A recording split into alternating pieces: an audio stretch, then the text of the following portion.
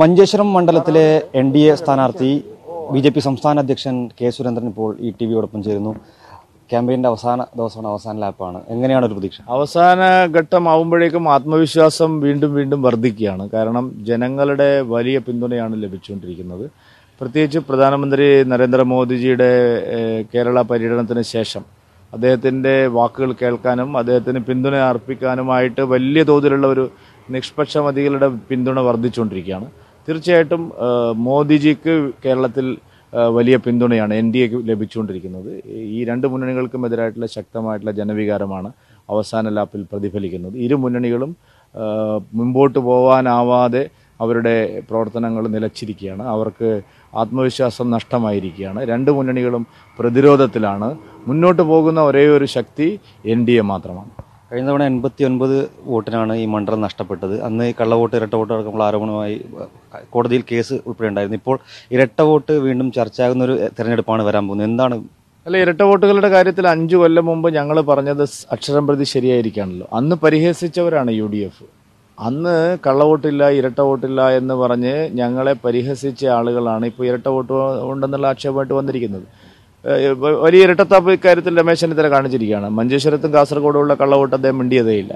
പക്ഷേ ഞങ്ങൾ എല്ലാ മണ്ഡലങ്ങളിലെയും കള്ളവോട്ടുകൾ ഇരട്ട വോട്ടുകൾ കണ്ടെത്തി അത് തടയാൻ ആവശ്യമായിട്ടുള്ള പരിശീലനം ഞങ്ങളുടെ ബൂത്ത് ഏജന്റുമാർക്ക് ഇതിനോടകം നൽകി കഴിഞ്ഞിരിക്കുകയാണ്. ഇത്തവണ ഇരട്ട വോട്ടുകളും കള്ളവോട്ടുകളും പോൾ ചെയ്യാതിരിക്കാനുള്ള കർശനമായിട്ടുള്ള ജാഗ്രത ഞങ്ങളുടെ പക്ഷത്തുണ്ടാകും. ഈ തെരഞ്ഞെടുപ്പ് ആകുമ്പോൾ വലിയൊരു പ്രചരണം ഉണ്ടാകും. പക്ഷേ മഞ്ചേശ്വരത്ത് വ്യത്യസ്തമായ രീതിയാണ് ബി ജെ പിയുടെ ഭാഗത്ത് നിന്ന് കണ്ടത്. അതായത് പുറമേ വലിയ രീതിയിൽ പ്രചരണം കാണാനില്ലെങ്കിലും അകമേ കൃത്യമായ പ്രവർത്തകരെ ഏൽപ്പിച്ചുകൊണ്ട് പോകുന്നൊരു രീതി ഇത്തവണ കണ്ടു. അതിലൊരു അതല്ല മഞ്ചേശ്വരത്തിന്റെ ഒരു ക്യാമ്പയിൻ മോഡ് എപ്പോഴും അങ്ങനെയാണ്. അത് കുറച്ച് കർണാടക സ്റ്റൈലുണ്ട്. വലിയ പോസ്റ്ററുകളും ഫ്ലക്സ് ബോർഡുകളും ബഹളങ്ങളും ഒന്നുമല്ല ഇവിടെ നേരിട്ട് വോട്ടർമാരെ വീട് വീട് സമ്പർക്കം ചെയ്ത് വോട്ടർമാരെ കാണുന്ന ഒരു പതിവ് രീതിയാണ്. വലിയ മാറ്റമൊന്നും ഇത്തവണ ഉണ്ടായിട്ടില്ല.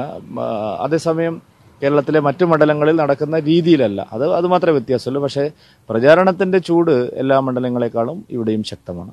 സംസ്ഥാന അധ്യക്ഷന്റെ വലിയൊരു ഉത്തരവാദിത്വം ഉണ്ടാകുമ്പോൾ രണ്ട് മണ്ഡലത്തിൽ മത്സരിക്കുന്നത്. അങ്ങോട്ടും ഇങ്ങോട്ടും പോകേണ്ട ഒരു സാഹചര്യം ഉണ്ടായിരുന്നു. വോട്ടർമാരെ നേരിട്ട് കാണാൻ പറ്റാത്തതിന്റെ അല്ല അല്ലല്ല അതിൽ ഈ ഈ രണ്ട് മണ്ഡലങ്ങൾ തിരഞ്ഞെടുത്തതിന്റെ തന്നെ കാരണം ഈ രണ്ട് മണ്ഡലങ്ങളും വ്യക്തിപരമായിട്ട് എന്റെ സ്വന്തം മണ്ഡലങ്ങളാണ്. കാരണം ഇവിടെ കഴിഞ്ഞ ഇരുപത് വർഷമായിട്ട് ഞാൻ നിരന്തരം ഇവിടെ പ്രവർത്തിക്കുന്ന ഒരാളാണ്.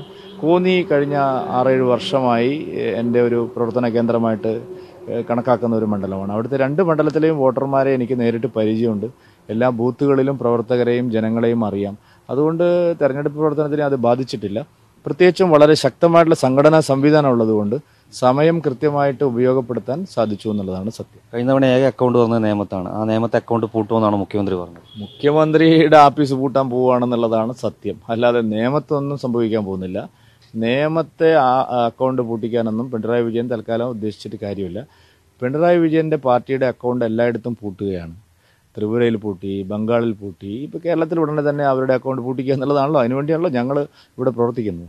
ഇവിടെ എൽ ഡി എഫ് പറയുന്നത് ബി ജെ പി ആയിട്ട് direct fight U D F പറയുന്നു ബി ജെ പി ആയിട്ട് ആര് തമ്മിലാണ് മത്സരം? മഞ്ചേശ്വരത്ത്. അവർ തമ്മിൽ രണ്ടാം സ്ഥാനത്തിന് വേണ്ടിയുള്ള മത്സരമാണ് അതുകൊണ്ടാണ് രണ്ടുപേരും ഞങ്ങളുമായിട്ടാണ് മത്സരം എന്ന് പറയുന്നത്.